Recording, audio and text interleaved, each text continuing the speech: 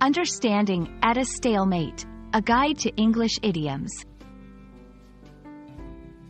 Hello, everyone. Today, we're diving into the fascinating world of English idioms.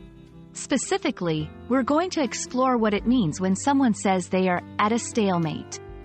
This phrase is commonly used in English conversations and can be quite interesting to learn about, especially for those of you looking to improve your English language skills.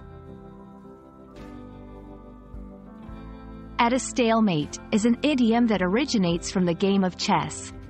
In chess, a stalemate is a situation where the game ends because no player can make a legal move, and neither player wins. When used as an idiom, at a stalemate, means a situation where progress is impossible because the people involved cannot agree or because there are equal but opposing forces or arguments. It's often used in the context of negotiations, debates, or situations where progress has halted due to a lack of compromise. To better understand how to use this phrase, let's look at some examples.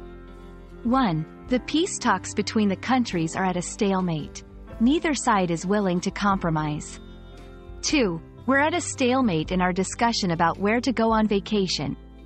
I want the beach, and you want the mountains. 3. The jury is at a stalemate. They can't seem to reach a unanimous decision. Notice how the phrase is used to describe situations where there is a deadlock or an impasse.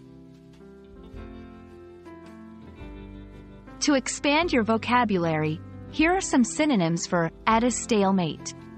Deadlocked. In a deadlock. At an impasse. In a gridlock. At a standstill. Using these synonyms can add variety to your language and help you express the same idea in different ways.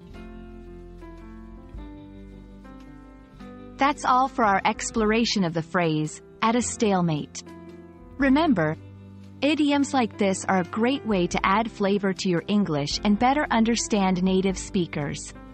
I hope this video has been helpful and insightful. Keep practicing, and don't hesitate to use at a stalemate in your conversations. See you in the next video.